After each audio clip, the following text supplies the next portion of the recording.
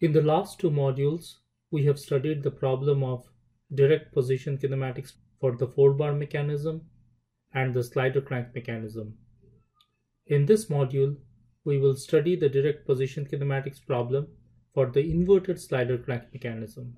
Recall that an inverted slider crank mechanism can be formed by linkage transformation from a four bar mechanism with all revolute joints.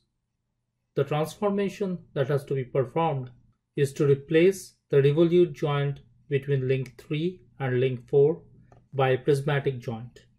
Let A be the length of the link 2, B be the length of the link 3, C is the length of link 4 and D is the length of link 1. In the inverted slider crank mechanism, the axis along which the slider translates also rotates. The direct position kinematics problem for this mechanism is as follows. Given the link lengths A, C and D, which is the length of O2A, O4B and O2O4, and the input angle theta 2, which is the angle made by the link O2A with the x-axis, compute the position of the slider B. So the variable B here changes as the mechanism moves because the slider slides on the link 3 and the angles theta 3 and theta 4. Both theta 3 and theta 4 changes as the mechanism moves.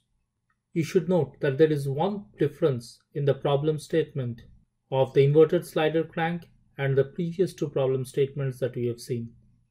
The difference is that here we seem to have three unknown variables and what you had seen before is you had two unknown variables and you obtained two equations for it. Although there seems to be three unknown variables here, all three of them are not independent.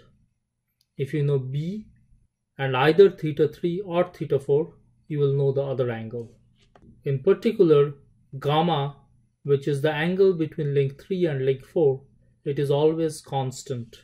And theta 3 is theta 4 plus minus gamma. The picture shown here is for theta 3 equals to theta 4 plus gamma. But there can be other ways of assembling the mechanism where theta 3 would be theta 4 minus gamma. So in essence, there are two unknown variables. To see why gamma should be constant, you should note that there is one translational degree of freedom between links 3 and 4. Therefore, although theta 3 and theta 4 may change, the angle between links 3 and 4 cannot change because there is only a translational degree of freedom. There is no rotational degree of freedom. To solve the direct position kinematics problem, we have to first assign a vector to each link. So let us assign O2A to link 2, BA to link 3, O2O4 to link 1, and O4B to link 4. This is shown on the right hand side here where O2A is R2, BA is R3, O2O4 is R1 and O4B is R4. The angle theta 2 is shown here. The angle theta 4 is shown here. Theta 3 is this angle and theta 1 in this picture is 0. So I can write R2, R3, R4, R1 in the complex number form where A, B, C, D are the respective lengths and theta 2, theta 3, theta 4, theta 1 are the respective angles. Now we can see that O2A is equal to O2O4 plus O4B plus BA or R2 equals to R1 plus R4 plus R3. Therefore, taking the vectors R1, R4, R3 to the left hand side, we have the vector loop closure equation as shown here. And we know each one of these Ri's in terms of the link lengths and the angles. So again, we have to pause for a moment and understand what are our variables and what are the unknowns that you have to solve for. Here A, C, D, theta 1 and the angle gamma are constants. The independent variable is theta 2. It means that theta 2 varies with time or as the mechanism moves, but we know the value of theta 2 for position analysis. And you have to find theta 3, theta 4 and b. And we have an extra equation of the form theta 3 equal to theta 4 plus minus gamma. In the picture shown here, theta 3 is theta 4 plus gamma. If we take the vector loop closure equation and substitute the complex number form for each one of the vectors, we get the equation shown here. Now we will proceed as before.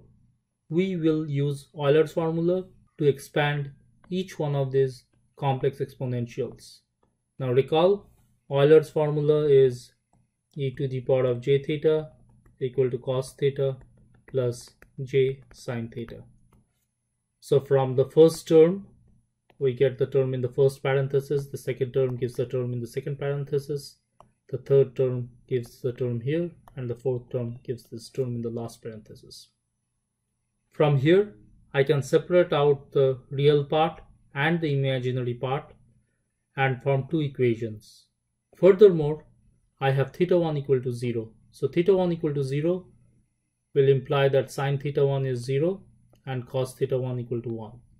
So if I do the substitution for theta 1 equal to 0 and do the separation, these are the two equations that I am getting. Only cos theta 1 becomes 1, so d cos theta 1 becomes d here. d sine theta 1 doesn't show up because sine theta 1 is 0. Again, look at these two equations and try to see what are the unknowns that we have to solve for. Theta 3 is an unknown, theta 4 is an unknown and b is an unknown. However, we have the equation theta 3 equal to theta 4 plus gamma which we have to use. Here I have just transferred the two equations that we obtained in the previous slide. Furthermore, as I stated before, we have theta 3 equals to theta 4 plus gamma.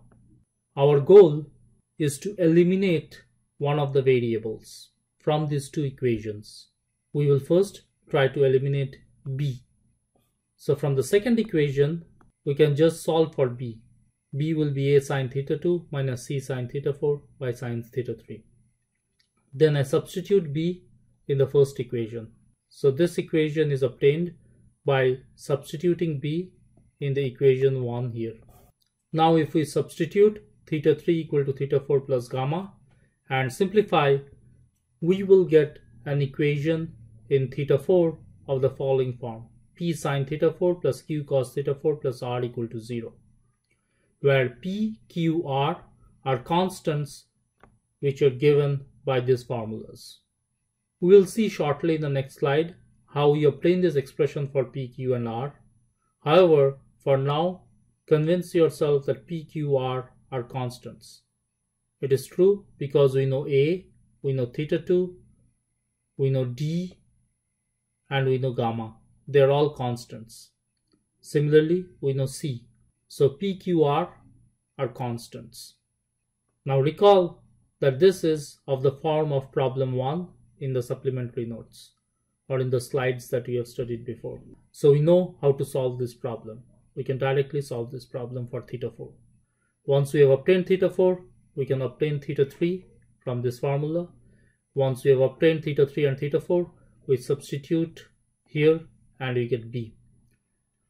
There will be two solutions for theta 4, hence there will be two solutions for theta 3, hence there will be two solutions for b.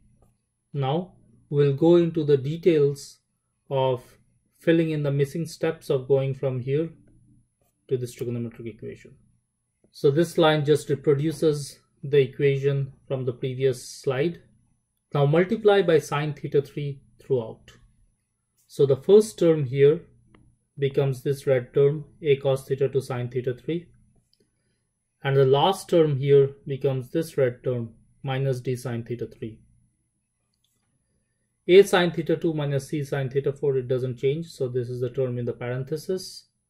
And it's multiplied by cos theta 3 here. So you've just taken it down here. And c cos theta 4 gets multiplied by sine theta 3 which becomes the term here now look at the two red terms. There are some constants multiplying sine theta 3 so collect the constants which will be a cos theta 2 minus d. The term a sine theta 2 times cos theta 3 comes down here. And the blue terms can be written together in this form. Now sine theta 3 cos theta 4 minus sine theta 4 cos theta 3 is sine of theta 3 minus theta 4 and theta 3 minus theta 4 is gamma. So the blue term can be written as minus c sine gamma. In the other two terms, I substitute theta 3 equal to theta 4 plus gamma. So from here, I get sine theta 3 equal to sine theta 4 plus gamma. And from here, in place of cos theta 3, I have cos theta 4 plus gamma. Now, I have to expand this sine and cosine terms. And that's what I have done here. Sine theta 4 plus gamma is this term within the parenthesis. Cos theta 4 plus gamma is this term within the parenthesis. Then I collect coefficients of sine theta 4 and cos theta 4.